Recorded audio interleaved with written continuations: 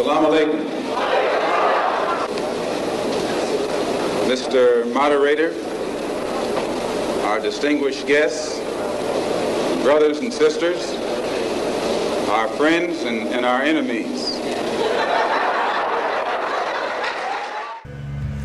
Bismillah wa salatu wa salam rasulullah wa ba'd in the name of Allah and may the peace and blessings of Allah be upon his messenger as to what follows family friends foes homies and haters welcome back to the Feachaz. I welcome welcome you all with peace and love and serenity. Assalamu alaikum wa rahmatullahi wa barakatuh. May the peace and blessings of Allah be upon all of you. So before we begin please like subscribe share. Um, please support me on Patreon.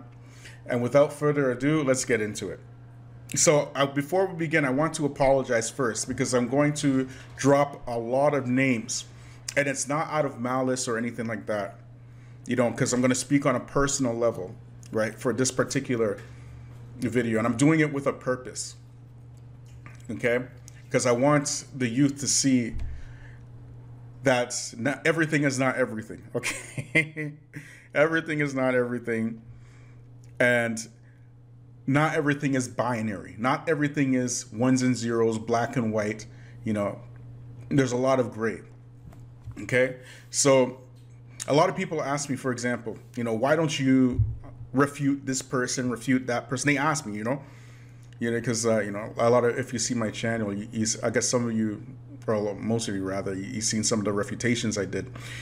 And the reason is I don't like refutations. I just don't I don't I don't like to do them, right? I'm very scared to do them, to be honest.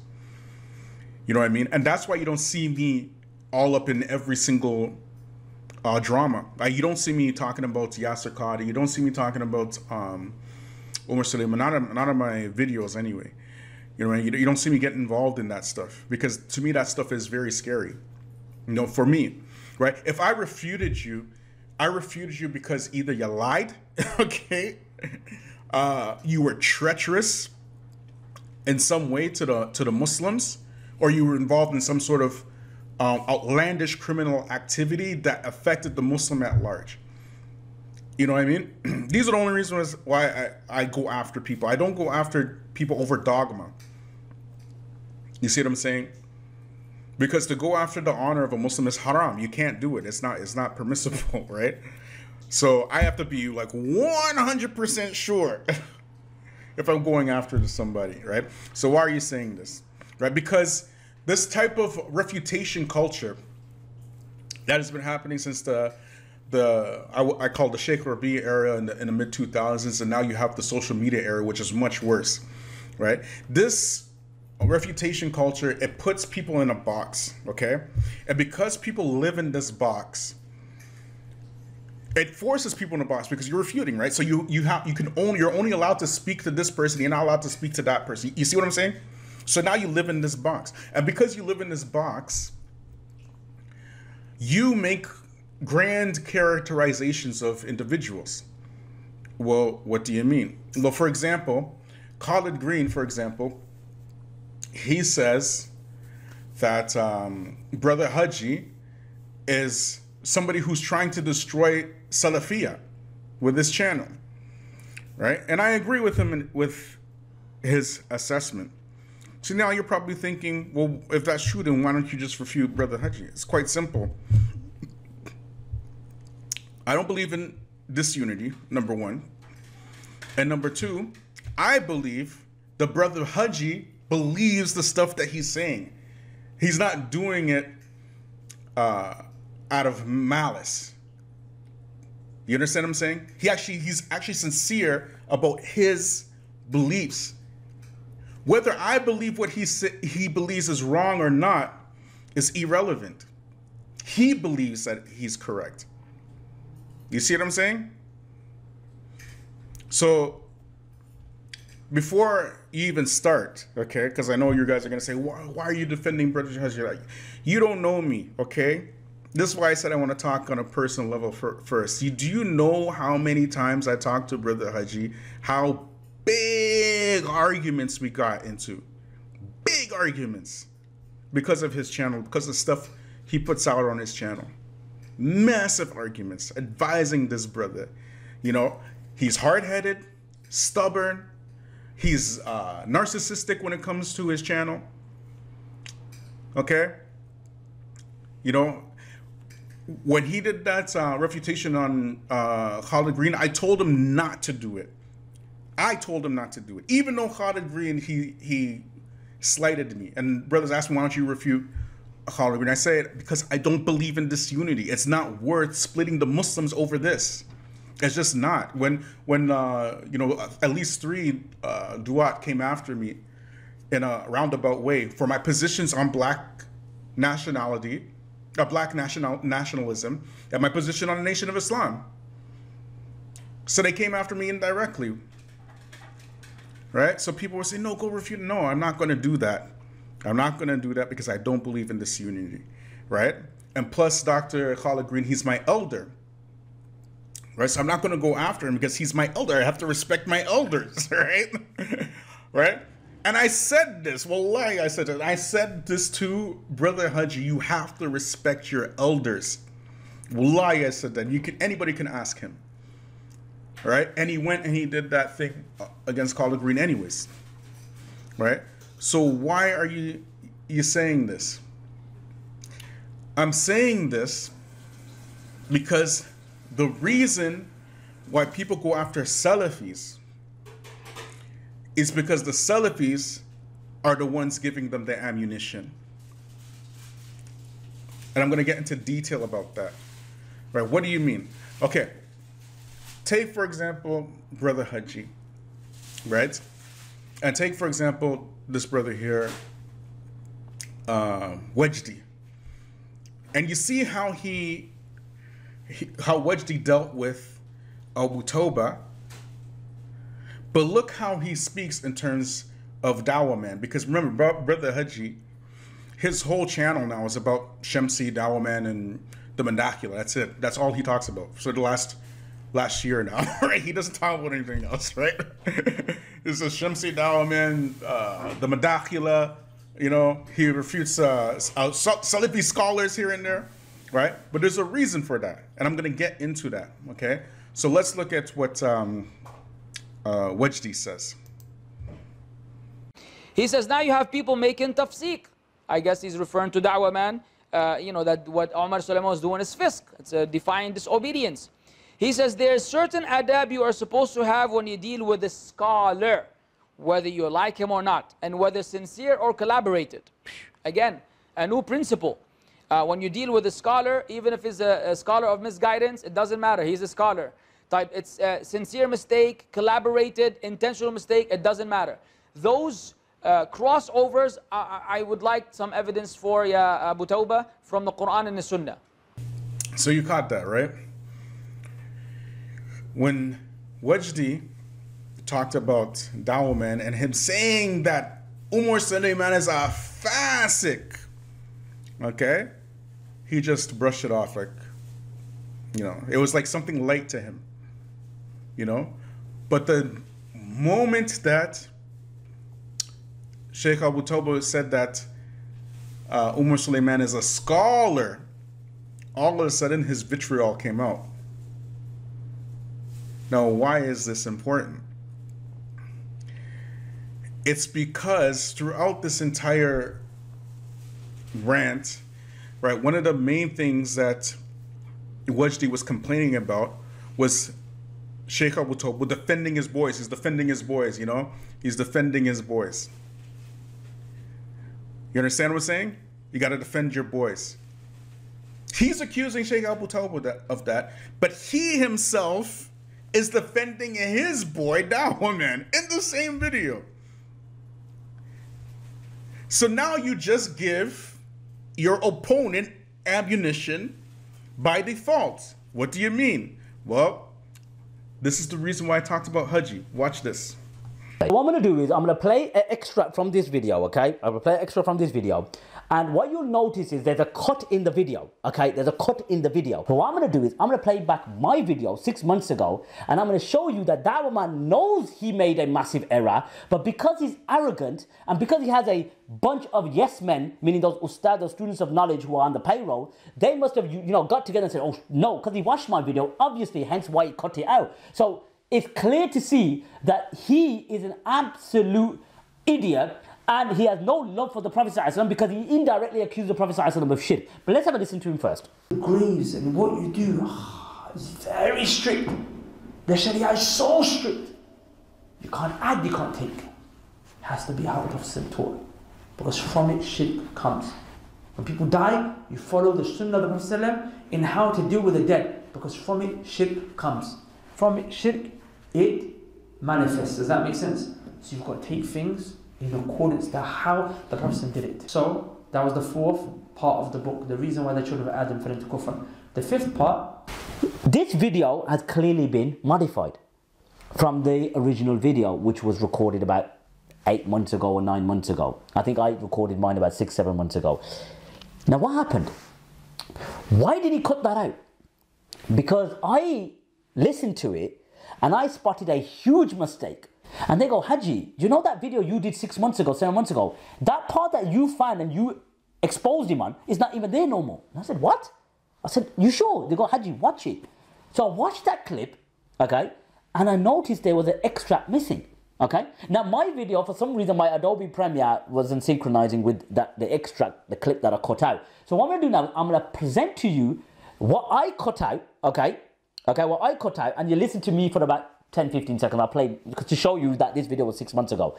And you will see the atrocious comments that he makes and we'll make a comment on it. Let's have a listen so without going into further details let's listen to Dawah man himself basically utter some absolute nonsensical statements which would leave you shocked to your core. Let's have a listen. When people die you follow the sunnah of the Prophet in how to deal with the dead because from it shirk comes. From it shirk it manifests. Does that make sense? So you've got to take things in accordance to how the Prophet did it. When we're sad, we put our pictures of those who died. When we're sad, we go to their graves. Why is the problem? Because when you go to the grave, what are you going to do? People who talk to the dead. This is shirk billahi azza wa You go to the grave and you start saying, I miss you. Allah, I wish you were here. No matter your grief and your pain your sadness, you are talking to the dead. And talking to the dead is dua. Dua means to talk, to call and you cannot make dua to the dead. This is shirk billah azza wa. Maybe he goes on and he explains it. Now, as you heard Dawah Man um, state that those who pass away, it is incumbent on us to follow the sunnah when one passes away and not to fall into shirk. Now, which is correct. That statement is correct. Then he uttered a statement which really makes the heart skip a beat. He said that anyone that talks to the dead, that is shirk. So as you heard, I played back six, seven, eight months ago when I took that extract, it had the whole statement from Dawah where he said talking to the dead is shirk. You see? And talking is dua. Absolute nonsense.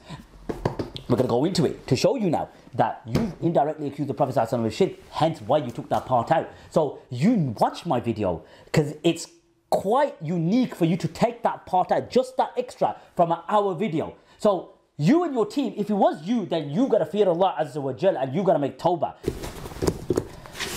As you can see in my hand, I've got Sahih Muslim. I did this seven, eight months ago, by the way. And I'm gonna put the original video in my clip. You heard me speak, you know, I was wearing the, the shemagh. That was seven, eight months ago, or six, seven, eight months ago. But yet, you didn't come out and apologize. And don't worry, Daniel, I'm gonna address you as well, my brother. Don't worry about it. We're just trying to show you that you, Daniel, you let yourself down, man. I'm not happy. How dare you? If you think yaqeen and this Americanized Islam is evil and needs to be refuted, then my brother, these Madakhila super Salafis are just as bad and you went on their platform. If you don't know about them, Akhi, then you need to get behind the desk and study. With all due respect to you, Akhi. With all due respect, if you don't even know this and you're just fixated with Umar Suleiman and his likes and his cronies, etc., then that shows, Akhi, you haven't studied, bro. You have not studied. You joined Dawah Man after all these cockles, I'm going to show you the tweets underneath that clarify that, you know what, you messed up, mate. And I'm going to address you as well, but let me just get to this. As you can see on screen, okay, I'm just going to uh, paste because I want to address my brother Daniel. We got hadith number, okay, 974. And he mentioned that Aisha radiallahu anha said that the Allah's Messenger sallallahu alayhi wasallam um, would go out towards the uh, Baqi' at the end of the night. And when he got to Al Baqi', okay, remember he said talking to the dead is shirk. When he got to Baqi', he said, What? Assalamu alaykum dara qawmin mu'minin. So again, this is salam, no problem. We could give you that. Then the Prophet ﷺ said, وَأَتَاكُم مَا تُوعَدُونَ غَدًا مُؤَجِّلُونَ وَإِنَّ إِن شَاءَ اللَّهِ بِكُمْ لاحقون. The Prophet ﷺ said, Peace be upon you, adobe of the believers, meaning those who are believers. So that's salam. What you were promised would come to you tomorrow. وأتاكم ما توعدون غدا. مؤجلون وإن شاء الله بكم لاحقون. And you are receiving it after some delay. So so so just to clarify he's talking to the inhabitants of Al-Baqi' and remember it's not just one grave. Numerous sahabas are buried there. So the prophet is talking to a group of sahaba radiallahu anhu. So has the prophet committed shirk Bilal, what does this have to do with Wajdi and and Abu Taubah and whatnot. Like, what does this have to do with anything? It's very, very, very simple. If you are going to hold your opponent to a certain standard, you should keep that standard for yourself. Now, Wajdi, what really was the tipping scale for him making this video against uh, Abu Taubah? is what he said about Umar Suleiman, that he's a sheikh. So he, in his mind, he is defending Umar Suleiman who committed shirk. You understand what I'm saying? He did an act of shirk at a, uh, what you call it, a protest. So now in his mind, he has to make up principles like you cannot separate the act from the actor because he wants to connect that actor shirk with Omar Suleiman. And he wants the audience to understand that. Not to mention Omar Suleiman and his positions on the LGBTQ, which has left a, a very bad taste with a lot of the Muslims. But we're just talking about this particular act. So Abu Taubah calls him a sheikh, that triggers him. You understand what I'm saying? That triggers him. But what I'm saying is, if you're going to hold Omar Suleiman to the standard, Ya Rahman, Ya Rahim, if you are going to hold Umar Suleiman to this standard, you yourself have to hold yourself to that same standard. How many times did uh, Wajdi and Akkari say that, oh, you got to defend your boys, you got to defend your boys and whatnot? How many times did he say it? You know, he's saying this to Sheikh Abu Taubah like, like he's a child or something. You know, very disrespectful, very pompous. But when it comes to Dawah Man, who low key accused the Prophet Muhammad shirk six months ago. Six months ago. Not a word from any single one of them in their clique. And you think that Brother Haji has a problem with the Salafi dawah. The reason why you think that is because he's attacking who you people call Salafis. Me, I'm old school. I believe in Salafiyah in terms of the manhaj. Not everybody that says that a Salafi with their mouth is a Salafi. I told you many times, I don't consider those people from Spub Salafi at all. And I stand on that. Salafis aren't liars. Salafi follows uh, Salafi fo- actually follows the manhaj of the Salaf. So why are you not demanding the Dawah man to make Tawbah for his action? You yet you're, you're demanding Omar Suleiman to make Tawbah for his action. This is a form of hypocrisy. So Allah says in the Quran, A'udhu billahi minash shaitanir. وإذا كي وإذا قيل لهم لا تفسدوا في الأرض قالوا إنما نحن مصلحون ألا إنهم هم المفسدون ولكن لا يشعرون And when you tell them to stop spreading corruption in the earth, they tell you that we are the peacemakers. Verily, they are the corruption makers, but they do not actually perceive or understand it. When this ayah was revealed, it was revealed uh, when the Prophet he just got into Medina. And at those times, you know, the Quraysh, they were very oppressive on the Muslims, as you know. So some of the hypocrites, they used to make, excuse me, these type of working together with uh, the Quraysh. So the Muslims asked them, like, why are you causing all of this corruption? Why are you working with these people? Why did they ask him that? Because supporting the oppressor is to violate the oppressed. Rab. And what did these hypocrites at this time say? They said, We're just peacemakers. إنما نحن مصلحون. We're trying to make peace. ألا إنهم هم مفسدون فلكن لا يشعرون. Verily, they are the ones who are spreading corruption, but they don't even understand. This refutation, clarification culture is the new hypocrisy. Ya salam. When you find people involved in every single fitna that comes out, you need to suspect them immediately. You see, Brother Haji, he can only go by what we say. If we have double standards, he calls it out. But remember what I said in the beginning this clarification culture puts you in a box. So because you're in a box, you don't want to listen to your opponent. But not only that, you practice deceptive tactics to build your group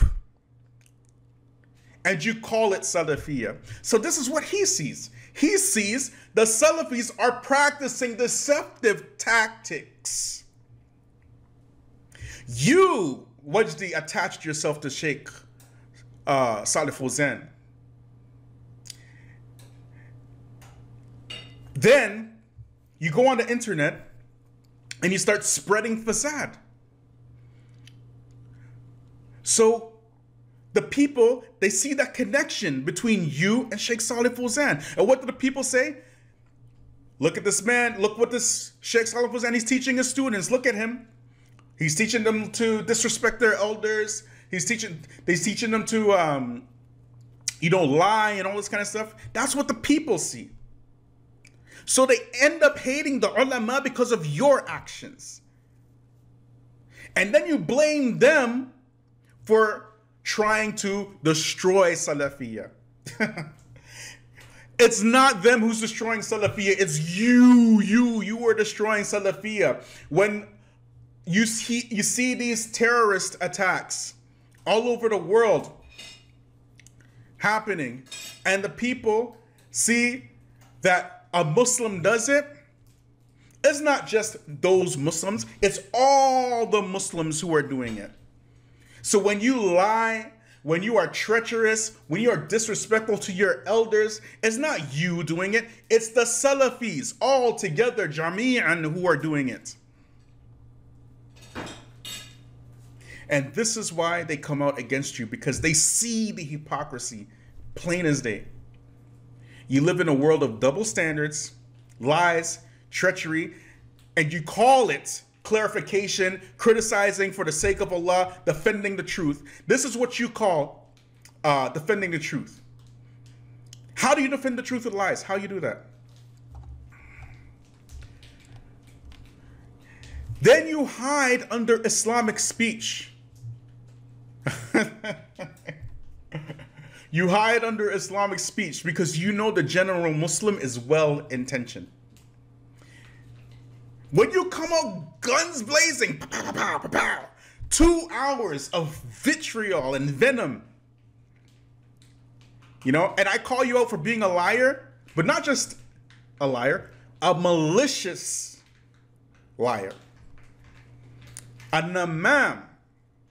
All, all of a sudden, you remember the principles of backbiting. Two hours of backbiting Abu Taubah. But when I call you out for it with the receipts, you remember what the sin of backbiting is, thinking that I'm going to be moved by that. Imagine backbiting a scholar for almost two hours without a single honest criticism. And when I say there's no way that this wasn't done with with uh without malice. It has to be malice. You have the nerve to ask me if I looked into your heart. Okay, fine, I take it back. It was it wasn't done with malice. Okay, I take it back. You were a very well-intentioned liar, okay? You were a good-hearted slanderer. You were sincerely for the sake of Allah clarifying the truth with falsehood. I take it back, okay? How's that? This is why people don't like Salafia. It's because of this. It's because in this new hypocrisy, they say we are just peacemakers. We are just clarifying the truth. We are just trying to clarify the issues. That's what they say. Look at what they say. What's this difference between this speech and the speech of the hypocrites at the time of the Prophet? Are you saying that they're hypocrites? Be, be like, look, I'm not Wajdi, okay? I'm saying this is an act of hypocrisy. I'm not putting dust on it. You cannot hide behind that Islamic language with me. I will make it very plain.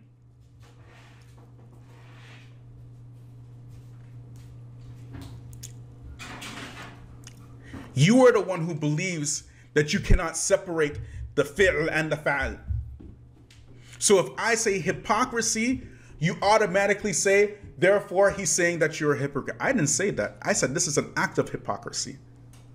When you have double standards, when you can go up and lie, when you can go up and make up uh, principles in Islam, and then when the people come out and fight you because you're wrong,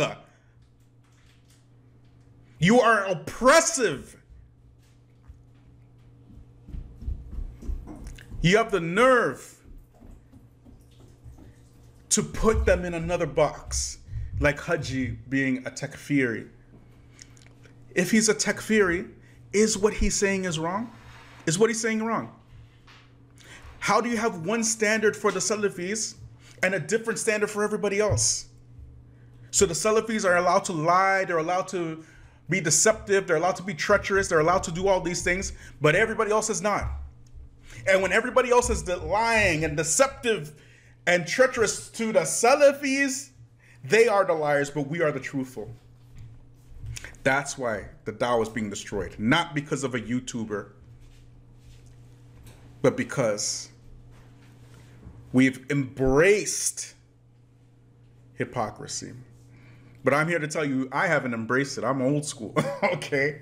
If you a liar, you a liar. I'll tell you. This is why people have an aversion to Salafiyah. Not because they have an aversion to the truth, but they have an aversion to the liars and the treacherous people at the top claiming to be Salafi. Double standards, lies, treachery.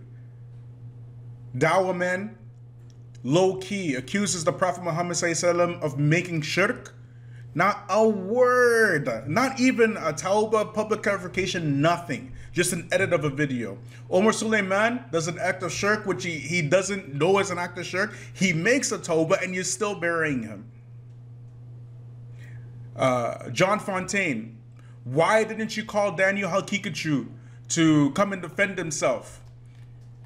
Why didn't you do that? Why didn't you have him on your show to come and defend to, to come and defend himself? But you did a two-hour hit job and Abu Taubah. Why didn't you invite Abu Taubah? You're leaving comments on my channel. You know what I mean? How dare you go into my intention? How dare? But did you forget that you made Namima of Dan, of um, John Fontaine? You forgot that. This is why people hate Salafiyah. This is why. You make one standard for the people and another standard for the Salafis, and you say that you're upon the truth.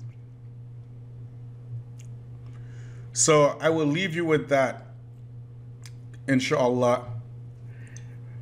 I know it's a little bit harsh, but look, we separate the action from the actor, okay? These are acts of hypocrisy. Lying is an act of hypocrisy. Treachery is an act of hypocrisy. But unlike Wajdi, we actually separate the action. We say this is an act of a hypocrisy. We don't say that this person is a hypocrite. And when you have these people, when you look at the Quran and Allah says that they say, you know, إِنَّمَا نَحْنُ مُسْلِحُونَ that verily we are the peacemakers. These people speak exactly like the munafiqun in the Quran. There's no difference between their speech. We are the uh, the ones who are clarifying the issues. We are the ones who are who are bringing uh, Islam. We just want to to bring the the truth, to make the truth successful. And they cause the most fasad. And they think that they're doing good. Allah innahum mufsidun falakin la yash'urun. They don't even know, they don't even have a clue that what they're doing is evil. They wear the same thobes that we wear. They have the same beards that we we we have. They they believe and they say they believe in the same Allah that we believe in. They say they believe in the same prophet that we believe in. That was the hypocrites then, that is the hypocrites now. Do not these people say that they follow the same ulama that we follow? They say they say they follow Bin Baz, they say they follow Albani, they say they follow Uthaymeen, they say they follow Muqbil, they say they follow Abdulaziz Al Sheikh, they say they follow Fawzan. Wajdi says he, his teacher is Fawzan, and when he comes out, Ya Salam, when he comes out with a two-hour Orientalist style uh, refutation on a scholar who is uh who's from Ahlul Sunnah. And the people see this. What does that say about his teacher? That's why they hate our scholars. That's why they talk about uh, the the menhaj, and that's why they talk about us because people like him who are at the top taking charge, and didn't they took that position, right? If you look at Wajdi Wajdi's uh, video, he says at, at the end of the video, uh, look at all the people I'm in contact with. He's legitimizing his position based on the people that he knows. And then he does something like this, and the people see it because they're not stupid. They have brains. They see uh, the treachery, they see the lies, they see the manipulation, and they attach that manipulation with the menhaj because of them because they cause the corruption. They cause it, and they can't see it. How are you going to come after me going after your intention and you have yet to make Toba for making Namima on John Fontaine? Fine, fine. You are a very well intentioned liar, okay? You weren't malicious. Yeah, you have the pureness of your heart of spreading that namima to bring the truth. Okay? I came to you in peace and love and serenity. I leave you the same way. Please subscribe. Please share. Please like. Please Patreon me. Subhanakallah bihamdik. Wa shahadu la ant. Wa stavruka. Wa tubi ilayk. Assalamu alaikum wa rahmatullahi wa barakatuh. And as far as your, your mayor is concerned, I see you should say their mayor. A man named Yorty, who has been slandering the Muslims, a professional liar, a professional liar.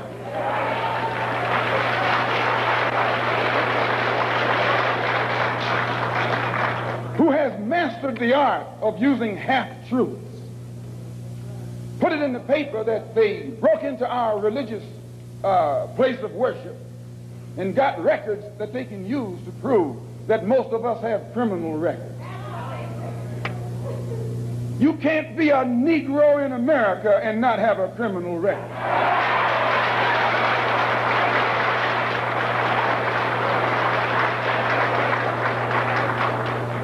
Martin Luther King has been to jail Queen. James Farmer has been to jail. Why, you can't name a black man in this country who is sick and tired of the hell that he's catching who hasn't been to jail. Charged him with being seditious. They put Moses in jail.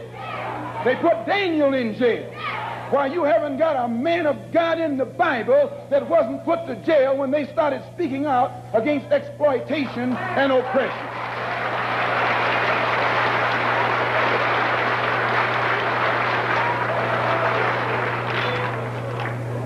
They charged Jesus with sedition. Didn't, didn't they do that? They said he was against Caesar. They said he was discriminating because he told his, his disciples, go not the way of the Gentiles, but rather go to the lost sheep. He discriminated. Don't go near the Gentiles, go to the lost sheep. Go to the oppressed. Go to the downtrodden. Go to the exploited.